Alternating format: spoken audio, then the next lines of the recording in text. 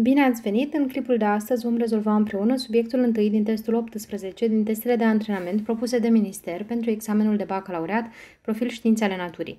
La exercițiul întâi trebuie să arătăm că diferența a două numere este un număr întreg, apoi să aflăm un parametru m pentru care f de m este egal cu g de m, la 3 trebuie să rezolvăm o ecuație irațională, apoi la 4 să calculăm o probabilitate, la 5 să arătăm o, o relație vectorială, iar la 6 să demonstrăm că 4 sin de A ori sin de B este AC ori BC. Să începem cu exercițiul întâi. Avem numărul 5 plus 2 radical din 3 și 1 plus radical din 3 totul la pătrat și să arătăm că diferența dintre ele este un număr întreg. Haideți să luăm de desubt, e foarte simplu, desfacem cu formulă de calcul. Totuși să avem grijă la semne, că în rest cu siguranță este destul de simplu. Și avem 5 plus 2 radical din 3 minus, o să păstrăm paranteza și avem 1 la pătrat care e 1, plus 2 ori 1 ori radical din 3 care înseamnă 2 radical din 3, plus radical din 3 la pătrat e 3. Și atunci înseamnă că noi vom obține 5 plus 2 radical din 3, avem minus 4 minus 2 radical din 3, reducem 2 radical din 3 cu 2 radical din 3 și rămânem cu 5 minus 4, care este 1 și e un număr întreg. Mergem mai departe la exercițiul al doilea. Se consideră funcțiile f definită pe r cu valori în r, unde f de x este 2x plus 1, iar g definită pe r cu valori în r, unde g de x este 2x pătrat plus 2x. Noi știm că f de m este egal cu g de m și trebuie să aflăm numărul real m. Acum, haideți să vedem ce înseamnă f de m. Avem f de m egal cu 2m plus 1. g de m înseamnă 2m la pătrat plus 2m. Egalându-le, vom avea că 2m pătrat plus 2m este egal cu 2m plus 1. Reducem 2m cu 2m și avem 2m pătrat egal 1, de unde rezultă că m pătrat este 1 pe 2 Asta înseamnă că m va fi plus sau minus radical din 1 pe 2. Distribuim radicalul la numărător și la numitor și obținem că m va fi plus sau minus radical din 1 e 1 supra radical din 2. Raționalizând, obținem că m va fi plus sau minus radical din 2 pe 2. Pentru că știm că m este un număr real, ne rezultă că m aparține mulțimii minus radical din 2 pe 2 și radical din 2 pe 2. Mergem mai departe la 3. Rezolvați în mulțimea numerelor reale ecuația radical din x pătrat plus 5x plus 1 egal cu radical din 2x plus 5. Primul lucru pe care îl facem este să scriem condițiile de existență și anume x pătrat plus 5x plus 1 trebuie să fie mai mare egal decât 0, dar și 2x plus 5 este mai mare egal decât 0. Pentru că aceste condiții de existență nu sunt tocmai frumoase, le vom lăsa așa și la final facem doar verificarea. Acum, pentru a rezolva ecuația, o ridicăm la pătrat și vom obține x pătrat plus 5x plus 1 egal cu 2x plus 5. Mutăm totul într-un membru și vom avea x pătrat plus 5x plus 1 minus 2x minus 5 egal cu 0. Asta înseamnă că am ajuns la ecuația x pătrat plus 3x minus 4 egal 0. Haideți să o rezolvăm. O mai scriem încă o dată. x pătrat plus 3x minus 4 egal 0. A este 1, B este 3, C este minus 4. Asta înseamnă că delta va fi B la pătrat minus 4 ori A ori C și obținem 9 plus 16 de fapt, înseamnă 25, de unde rezultă că radical din delta este 5. Și atunci vom avea x1 și x2 minus b plus radical din delta pe 2a, respectiv minus b minus radical din delta pe 2a. Și avem minus 3 plus 5 pe 2 și obținem minus 3 plus 5, 2 pe 2, 1 și minus 3 minus 5 pe 2 care înseamnă minus 8, pe 2 înseamnă minus 4. Să nu uităm că trebuie să facem verificarea, am lăsat-o pe final. Mai scriu încă o dată x1 ne-a dat 1, iar x2 ne-a dat minus 4. Și facem prima verificare. Îl înlocuim pe x egal cu 1 în prima condiție de existență. Și avem 1 la pătrat plus 5 ori 1 plus 1 e clar mai mare egal decât 0 și 1 ori 2 plus 5 și aceasta este mai mare egal decât 0.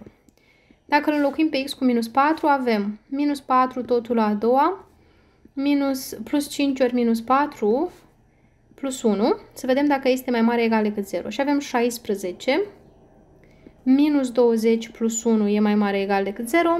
Hmm, se pare că nu pentru că avem 17 minus 20 mai mare egal decât 0, adică minus 3 e mai mare egal decât 0 și o relație falsă. Nu mai are rost să mai înlocuim și în a doua, pentru că dacă prima a ieșit falsă, clar și a doua mm, nu, are, nu va fi soluție. Important este să iasă amândouă adevărate pentru a fi soluție. Și atunci înseamnă că x, soluția sau x aparține mulțimii formate din 1. Mergem mai departe la 4. Calculați probabilitatea că alegând un număr a din mulțimea minus 2, minus 1, 1, 2 și 3, acesta să verifice inegalitatea modul de a plus 1 mai mare egal decât 2. Și haideți să vedem cum facem. Avem așa, în primul caz, dacă a este minus 2, avem modul de minus 2 plus 1 e mai mare egal decât 2, Păi minus 2 plus 1 înseamnă minus 1, modul de minus 1 e 1, mai mare egal decât 2, e o relație falsă. Mai departe, dacă ar fi minus 1, rezultă că modul de minus 1 plus 1 e mai mare egal decât 2? Nu prea, pentru că avem 0 mai mare egal decât 2, ceea ce e fals. Mai departe, dacă ar fi 1, rezultă modul de 1 plus 1, adică modul de 2, care e 2, mai mare egal decât 2 e adevărat și e clar că și pentru celelalte vom obține adevărat, dar le voi scrie totuși. Dacă A este 2, avem modul de 2 plus 1, adică 3, mai mare egal decât 2 e adevărat. Și dacă A este 3, modul de 4 mai mare egal decât 2, iarăși o relație adevărată. Și atunci probabilitatea va fi. Haideți să vedem care au fost cazurile bune. Aici era adevărat și am scris fals. Acesta, acesta, acesta și atunci avem probabilitatea egală cu 3 supra, numărul total de cazuri este 5. Probabilitatea este 3 pe 5. Mergem mai departe la exercițiul 5. Se consideră punctele A, B, C, D coplanare M mijlocul lui AD, iar N la mijlocul lui BC.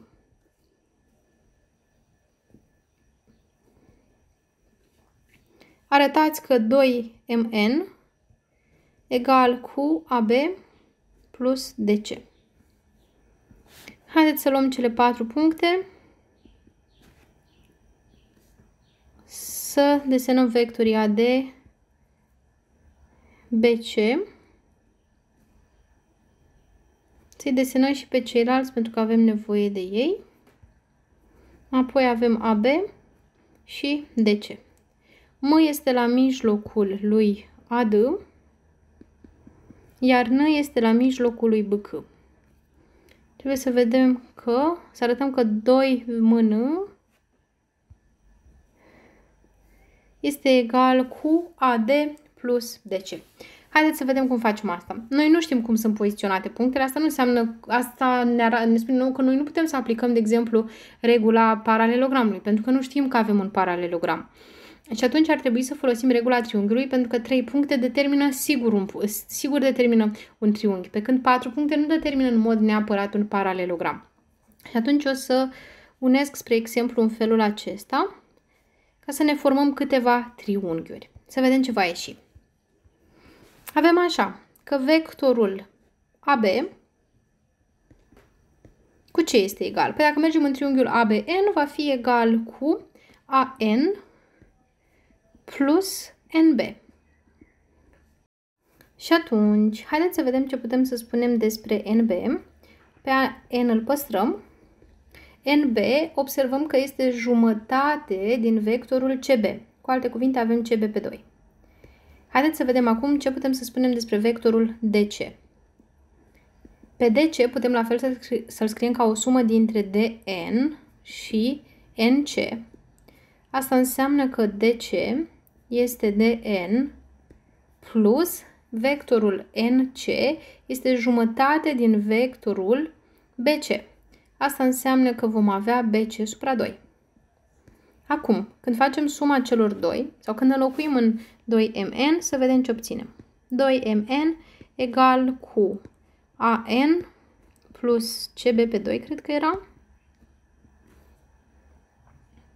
an plus cb pe 2. Apoi avem dn plus bc pe 2. Observăm că acești doi vectori se reduc pentru că sunt vectori opuși și atunci avem 2mn egal cu an plus dn. Haideți să vedem dacă acest lucru e adevărat. an plus dn. Ar putea fi adevărat din diferite motive, însă noi să mergem pe ideea tot de a folosi triunghiuri pentru a demonstra egalitatea.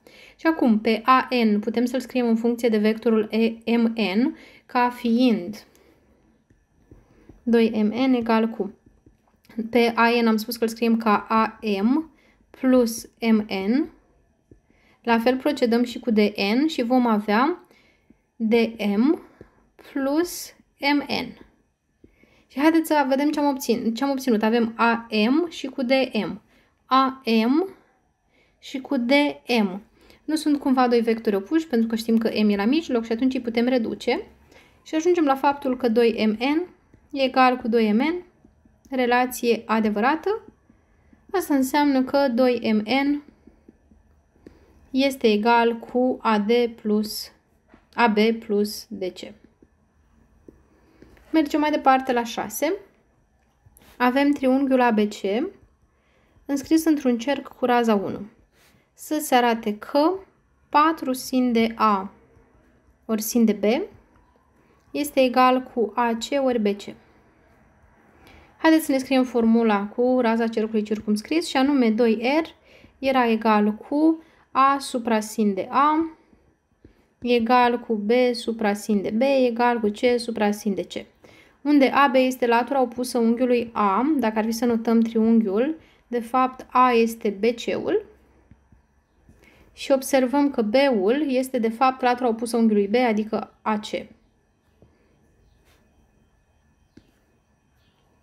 Haideți să scriem mai departe și următoarea formulă BC supra sin de C. Să vedem la ce ne folosește. E clar că trebuie să ne legăm cumva de mm, rază, că este 1, să înlocuim și să vedem ce obținem, apoi vom veni și înlocui aici în relație. Și avem așa, 2R egal cu BC supra sin de A. Înlocuind raza, obținem de fapt că 2 e egal cu BC supra sin de A. Asta înseamnă că BC este 2 sin A. Fix la fel procedăm pentru raportul cu sin de B și avem 2R egal cu AC supra sin de B. Asta înseamnă că 2 egal cu AC supra sin de B și rezultă că AC este 2 sin B. Când înlocuim în relația de mai sus, avem că AC ori BC egal cu, egal cu 2 sin A ori sin B, ori 2 sin B. Și atunci rezultă că, într-adevăr, AC ori BC este 4 sin A sin B.